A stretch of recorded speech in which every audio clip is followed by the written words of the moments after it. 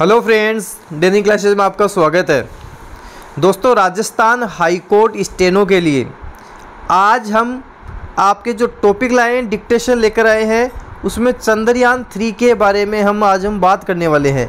देखो पूरे पूरे चांसेस रहेंगे कि करंट अफेयर का कुछ टॉपिक उठा लिया जाए, आपके एग्ज़ाम में पूछा जाए, क्योंकि आपका एग्ज़ाम काफ़ी पारियों में होने वाला है। तो ज़्यादातर चांसेस तो यही रहेंगे कि करंट अफेयर का कुछ टॉपिक आपसे डिक्टेशन में दे दिया जाए।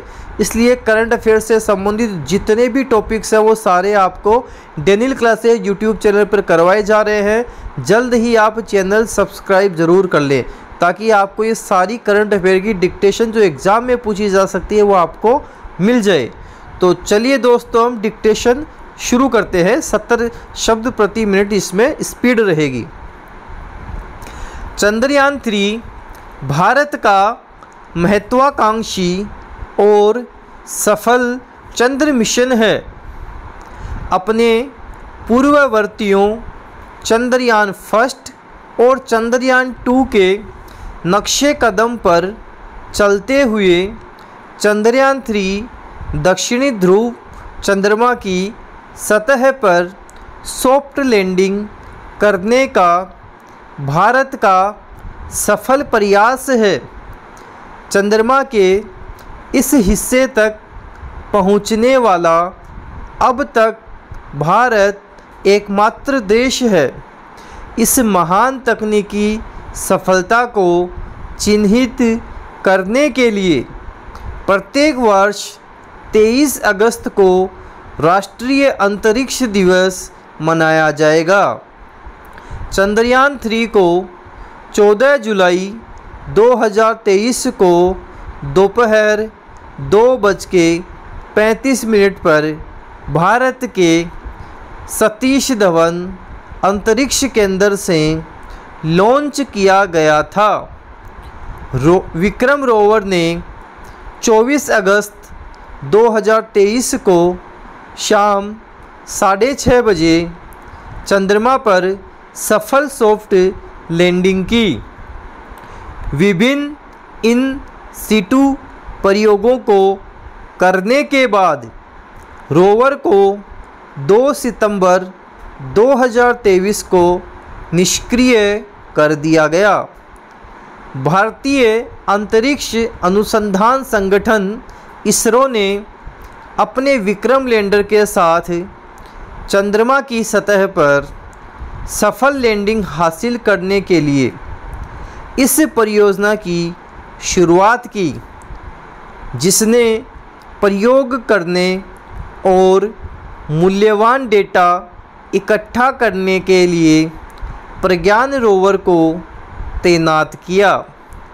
मिशन चंद्रमा के भूविज्ञान, खनिज विज्ञान और वायुमंडल का अध्ययन करने पर केंद्रित है, जो चंद्रमा की उत्पत्ति और विकास के बारे में हमारी समझ में योगदान देगा। चंद्रयान थ्री के मिशन का उद्देश्य चंद्रमा की सतह पर सुरक्षित और नरम लैंडिंग का प्रदर्शन करना, चंद्रमा पर रोवर के घूमने का प्रदर्शन करना और इन सीटू वैज्ञानिक प्रयोगों का संचालन करना है। मिशन के उद्देश्यों को प्राप्त करने के लिए लैंडर में कई उन्नत प्रौद्योगिकियाँ मौजूद हैं, जैसे कि लेज़र और आरएफ आधारित अल्टीमीटर वेलोसीमीटर, प्रोपल्शन सिस्टम आदि। ऐसी उन्नत तकनीकों को पृथ्वी की स्थितियों में सफलतापूर्वक प्रदर्शित करने के लिए कई लैंडर विशेष परीक्षण जैसे integrated cold test, integrated hot test और लेंडर लेग मैकेनिज़्म प्रदर्शन परीक्षण की योजना बनाई गई है और इसे सफलतापूर्वक पूरा किया गया है। चंद्रयान थ्री के माध्यम से भारत का लक्ष्य अपनी तकनीकी कौशल, वैज्ञानिक क्षमताओं और अंतरिक्ष अन्वेषण के प्रति अपनी प्रतिबद्धता को प्रदर्शित करना है। यदि चंद्रयान थ्री सफल होता है तो यह वैश्विक अंतरिक्ष समुदाय में भारत की स्थिति को और मज़बूत करेगा। यह मिशन युवा पीढ़ी को विज्ञान, प्रौद्योगिकी, इंजीनियरिंग और गणित में करियर बनाने के लिए प्रेरित करेगा। चंद्रयान थ्री का एक महत्वाकांक्षी चंद्र मिशन है।